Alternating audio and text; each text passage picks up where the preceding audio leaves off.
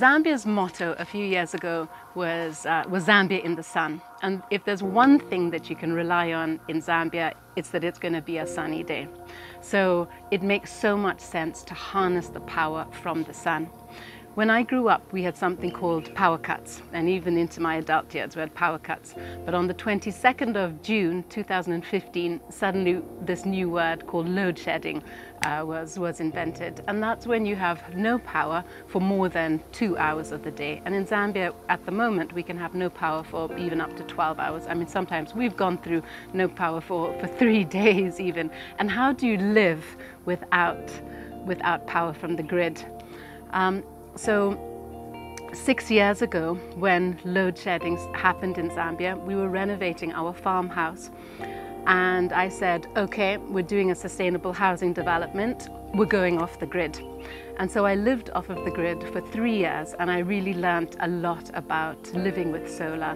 Um, and and um, finally, when we did connect to the grid, I, I'll be honest, I did um, our national grid, it's called ZESCO, and I did a little bit of a ZESCO dance on the day that we finally connected because um, I just, I'd learned, I had learned a lot. Um, so I really believe in hybrid homes, working both with the grid and with solar. Uh, I recommend that you put all of your inductive loads, so anything that has a wattage of over 500 watts, put that on your on the grid, and anything that's below 500 watts, which is a non-inductive load, put that on solar, and that works really well. So in the house that I live in now, uh, which is a full spec greenhouse, we've put all of the loads which are less than 500 watts and all essential loads on solar. So uh, that's all the lights, ceiling fans, the TV, the fridge as well. I consider the fridge to be an essential load because you don't want to lose your perishables and now fridges are really energy efficient. Also any uh, cell phone charging, laptop charging, if you've got a music, uh, a sound system and you need to charge that, easily, no problem, charge it on, on your solar, all essential loads. Anything that has an element, which is, um, which is inductive load, put that, put that on your grid.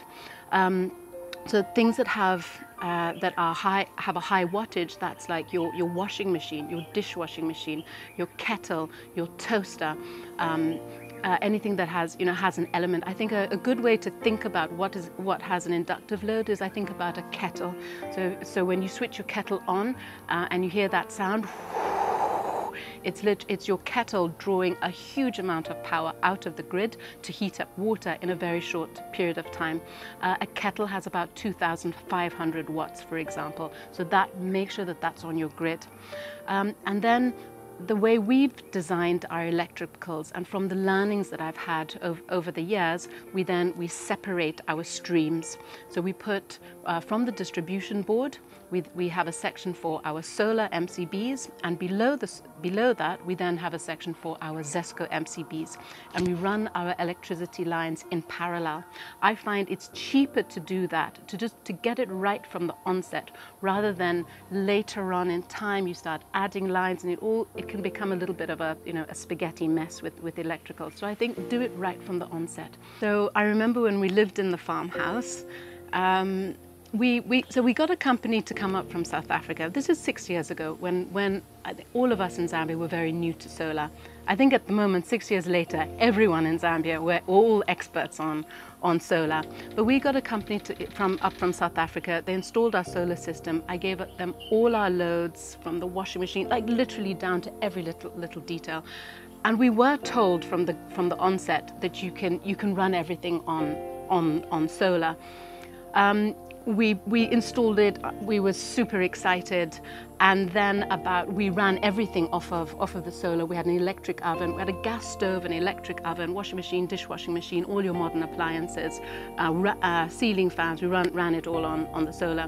It ran beautifully for six months, and then after six months, we had power during the day from sort of six, seven o'clock in the morning till about 6 p.m. in the evening, and then we were, we were in darkness in the evening. The batteries had, had run dry I, I called up the company. I said, "What's going on?"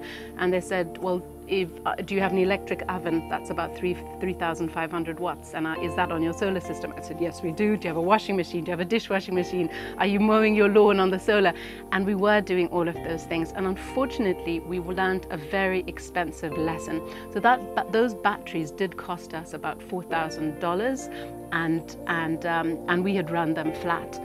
Um, so so from that huge expensive learning curve, that's also the reason why I recommend. I I just try to play it safe. Uh, I I think it's. Um, you know, it's it's it's it's cheaper to to play it safe than to than to sort of put uh, everything on, on on your solar, and and also in our modern um, households now we do have washing machines and dishwashing machines, and they are very convenient. They can make our life uh, a lot a lot easier. So you know, put those things in, but but put those on your on your Zesco. Um, but that's what then got me thinking about then separating the streams and putting um, you know some items on Zesco, some items on solar and, and then and labeling all of your socket outlets. So we do label our socket outlets um, and, and, make and make sure that we also do some training with our staff as well, that they also understand that anything that is over 500 watts uh, you know, when you see the, the kettle on the Zesco socket outlet, don't go moving that kettle around onto other socket outlets. Uh, leave it where it is.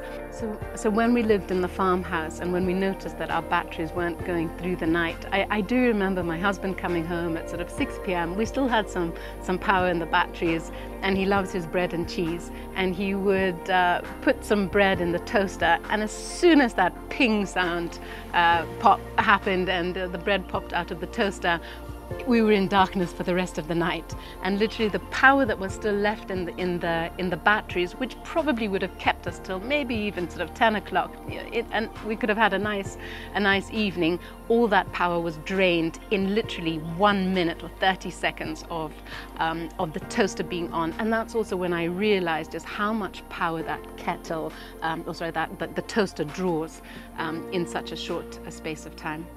A lot of people have asked me, in the month of October, for example, it, it can get very warm, incredibly beautifully warm in Zambia. It will go up to that lovely 35 degrees, um, clear skies. And they say, well, you know, can't I run my washing machine on solar? And, and can't I mow my, my lawn on solar? And you absolutely can. Um, but it's all just about how you manage your loads. So generally, even on a day like today, which is quite sunny, but there's a few clouds, you can uh, you will have your maximum amount of power from about 11 o'clock in the morning till about 2 p.m. in the afternoon. And during that period of time, you, you are probably generating an excess of power. So if you are in your home and you're managing your system very well, you can you can what you, you put your washing machine on um, and and and do other things. But ideally, you don't. If you are running some of those inductive loads on your solar system, you don't want to be put, doing them all at the same time. So don't put your washing machine, your dishwashing machine, mow your lawn, and iron all at the same time. Otherwise, yes, you're most likely draining your batteries. But during that peak hour, 11 o'clock to, to 2 p.m. in the afternoon, if you do want to run a washing machine, but sort of one, one appliance, maximum of two appliances, so a washing machine maybe with ironing at the same time, and if you know that it's October and it's really, really hot, then absolutely you can do that also with ironing, um, you can get different types of irons because I also consider ironing to be um, somewhat of an essential load. In Zambia, we have Putsi flies, so we do iron all of our clothes. Um, so I've looked into that because often we can have power cuts for up to 12 hours a day, and then you'll have clothes piling up uh, because I've you know, said no ironing when it's, uh, when it's um, you know, that, that uh, we should only do ironing on, on Zesco. So I've, with the specifically for ironing, um, I have two irons. One iron, which is a 2,500 watt iron, um, which gets a lot hotter and you can iron faster on it. But then I also have another iron, and that iron is a thousand watts. Um, so I've chosen that on a uh, if, um, if we don't have power from the grid, we will still uh, carry out uh, some ironing, uh, but, but, on, but only using the iron, which is, which is 1,000 watts. So our solar system in the house that we live in now is, um, it was installed by Timbuk2. We've been really happy with them. We have 18 solar panels on our roof and we have 12 batteries inside our, our, little, our battery bank room. Um, our system is a 12 kVA solar system.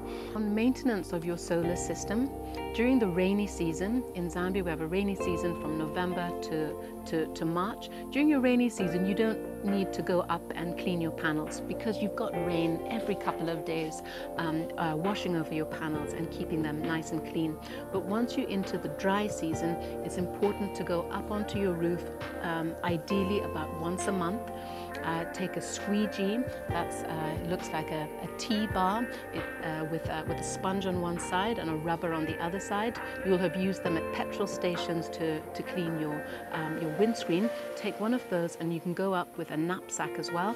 Uh, put some water in your knapsack on your back and spray down your panels and take your squeegee uh, to just um, to, to, clean off that water um, and dry out dry that water down with with the rubber side of your of your squeegee.